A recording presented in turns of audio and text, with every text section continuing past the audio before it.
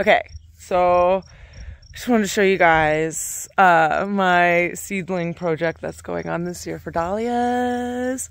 Because uh, I just spotted the first buds on one of these guys. So I might be seeing, getting to see what uh,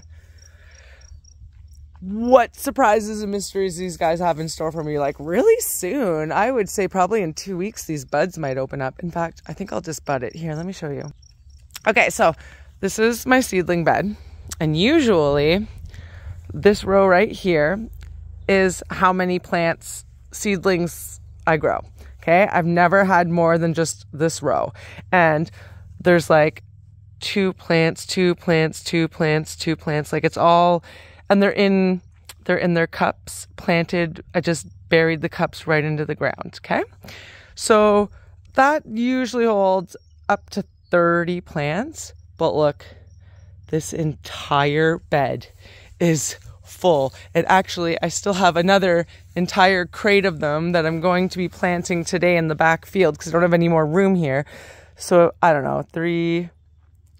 Oh, wait, that's only half a row because that Baptiste is there. 3, 6, 9, 12, 15, 16, 17, 18.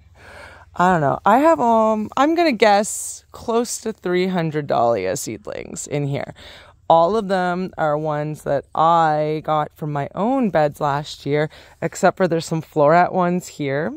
I wanted to try the floret ones. I'll never be able to buy tubers from her without it being stupid expensive and the whole shipping across borders from US to Canada. So I was like, why not get some seeds?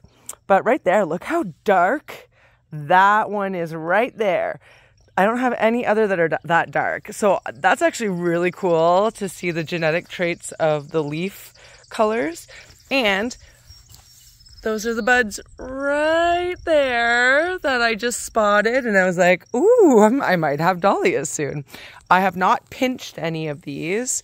I don't want to pinch them because I want them to flower right away so that if it's something I don't like, like it has bad genetics, I'll like just pull it and throw it out because they're also they're also squished in there uh, that they could be fighting for water and nutrients and stuff. So if one blooms and I'm like, oh, that's an she ugly, she I just we're not nah we don't we don't need this one i'll pull it out and uh a lot that allows for there to be more water and nutrients for the other ones that are still growing um but yeah that's pretty cool and exciting. One thing I'm gonna do, all right, sorry, my back is really messed up, so this takes me a while to bend down. Oh, um, I'm going to cut, take, I'll probably take, uh, leave that big bud and pinch the little tiny one there. That way the plant can put more energy into the big one. Um, which will, which is, yeah, that's what I usually do.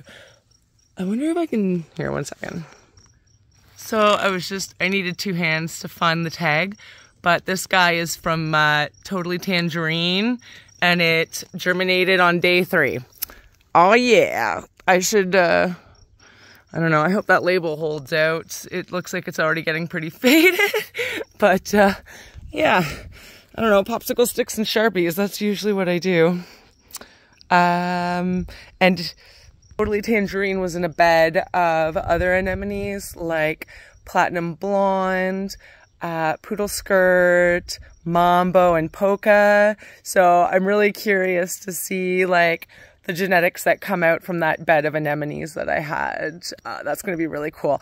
And then any seeds, I kept my anemone bed in a totally different plot. All the rest of my seeds were uh, for doubles were grown elsewhere so nothing would cross pollinate. So i'm hoping i get some really interesting dahlias. Uh, dahlia christmas is going to happen in about a month and it's going to be so overwhelming with all of these seedlings. I'm going to have so many new flowers that I'm, yeah. Dahlia christmas is going to be huge. The biggest dahlia christmas ever. 2024 mm-hmm. I'm pumped. It's coming. I'm coming. It's coming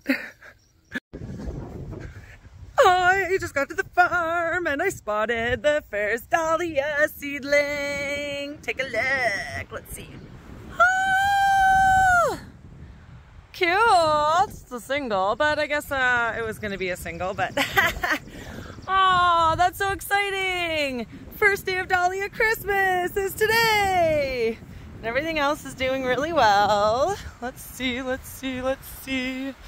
Um, oh yeah, I'm starting to see lots of buds now. I'm gonna take these little side buds off. My dark colored dahlia is doing great. Oh, there's more buds here.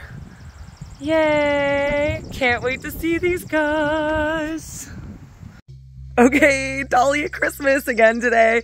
Um, okay, let's look at these together because I haven't really seen them yet, but I can tell that there's a whole bunch. Oh my gosh, oh my gosh, oh my gosh, oh my gosh, oh my gosh.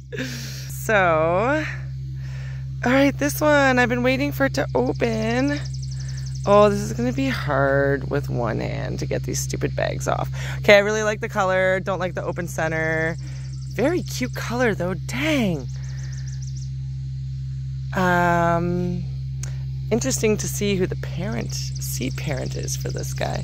Come on there. Mm, he was probably ready a couple days ago. Oh my gosh, I don't know. We had so much rain. Oh well, it's only first bloom. I'll see what else comes from it. Either way, that would look really cute in bouquets this year. Oh, the dark one has not bloomed yet, but it's getting close. Wow, I bet I can tell who the parent plant is of this guy. Uh, looks like a mambo or a rock star or something, but look how long. The petals are a lot longer on this one. Cute. Oh, hello, girly. You're cute. Hmm. And there's a couple over here, some singles. singles, not looking the greatest meh. They're okay. They're okay. What is this? Anemone. Ah! Oh, this one's cute. It's like orange with some pink streaked in it at the tips. Uh, I got this guy here. Um, got some of these little guys down here. Some more singles the big centers. That's okay though, very fun. I got more about to open, so I'll keep you guys updated on the seedling patch.